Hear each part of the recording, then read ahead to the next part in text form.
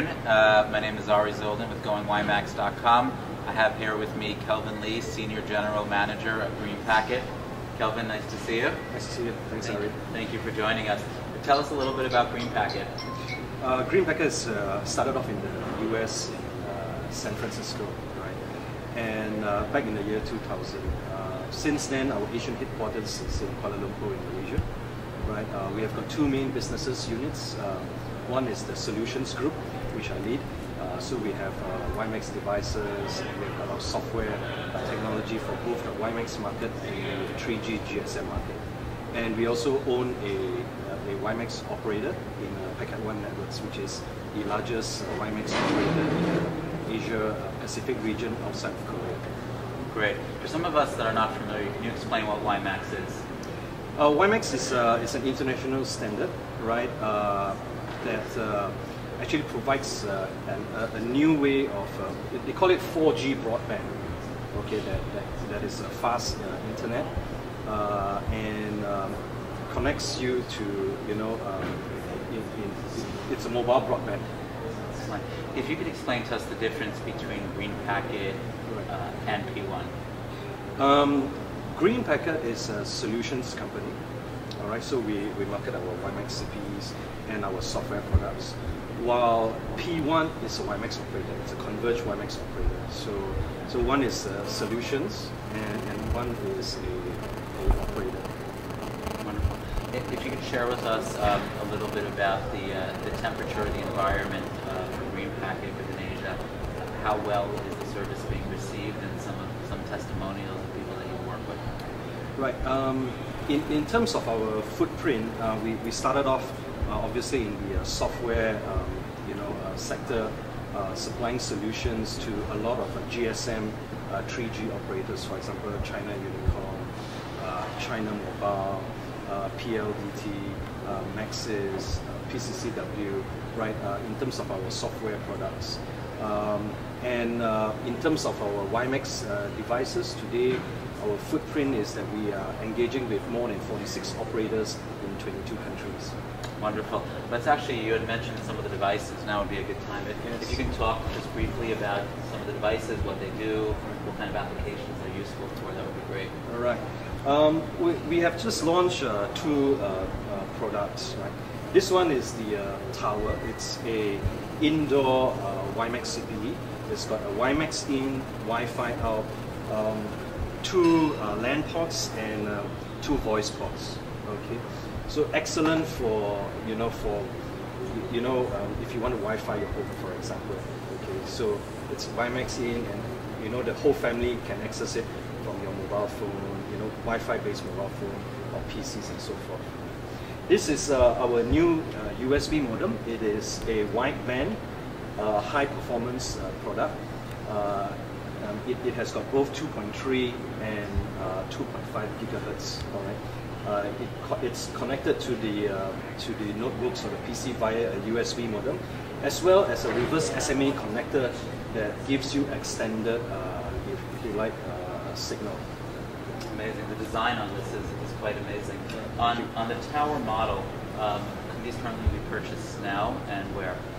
Um, Green Green Packet, uh, you know, uh, produces them, and right now, uh, as mentioned, you know, uh, although we have just launched it, right, there are already a couple of uh, operators, you know, that are already using uh, these two products, which we will, you know, the names will be made available to you shortly. Wonderful. We're certainly looking forward to that. Um, so, this, if you have a, a WiMAX service, you're talking WiMAX in, and then for distribution it's Wi-Fi, Wi-Fi out. out. That's right. Uh, what kind of range are, are we looking at for this kind of? I, think if you are talking about Wi-Fi, Wi-Fi is typically 50 to maybe 80 meters, right? so just enough for your home. Okay. Whereas uh, in terms of the WiMAX, right? Uh, I mean theoretically it can go to several kilometers, right? So of course uh, it's a line of sight technology, the uh, WiMAX, right? So um, the uh, the receiving can be very far, but the distribution, because of Wi-Fi technology, will limit you to probably 50 to, to 100 meters, I guess. If you could share a little bit about Green Packet's management philosophy and, and how they conduct business as it relates to, to, um, to some of their subscribers or, or customer base. right? Uh, Green Packet, we are we are customer focused, right? I, I think one of the, uh, the, the main thing is we listen to our customers, and a lot of these products uh, really are developed by by listening to what our customers want. Uh, besides the technology that, that, okay, in terms of the uh, performance and so forth, right? But generally, we listen to what our customers want. Uh, second is that uh, from a solutions perspective, is speed. Okay, we, we do things very fast. We don't believe in you know dragging or procrastinating. Right, we just make sure that uh, things are done. Uh, are done. So we work very much as a, a startup company mentality, although we are a public listed company. It sounds like um, hearing in the industry, it certainly sounds like Green Packet um, really breeds innovation, innovation and creativity. Um, what other what other kind of future projects are on the horizon for Green Packet, and what's in their vision for the future? Our vision is always uh, getting people connected, right? So whether it's uh, devices like this, or providing an all IP-based network, or even uh, software that connects you to the internet, uh, we really believe in mobile broadband. We believe in 4G. Uh, we believe in the connected internet world. All right. So you will see uh, a lot of products from Green Packet, right, uh, in the in the future months and years, right, uh, very innovative in, in, in the areas of promoting mobile broadband. Excellent. Where's the United States on Green Packet's uh, action list? Right. Good question, uh, Ari. Um, we, we started off obviously in the US. Um, we have uh, significant uh, footprint in the Asia Pacific uh, by virtue of you know our organization uh, being uh, you know built up in, in Malaysia.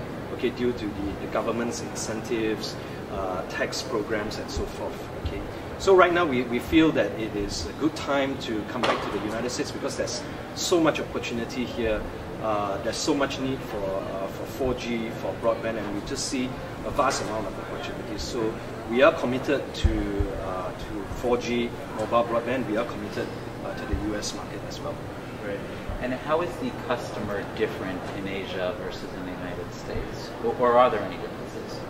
I, I think certainly uh, there are differences uh, in terms of culture, uh, but I believe that uh, in the in, in the Asian culture, uh, you got to be really very uh, customer centric, just as in, in the US. Uh, I, I do not think that you will have you know you, you'll be very well received if you're from one end of the world talking to your customer on the other end of the world. You really got to be here, stationed here, and so that's our commitment in the, in the US market. Right? So we are just not uh, communicating from one end of the world.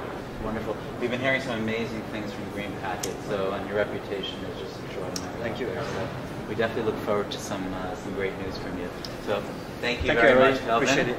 Okay, it was Kelvin Lee, Senior General Manager at Green Packet. Uh, for more information, please go to www.goingwimax.com.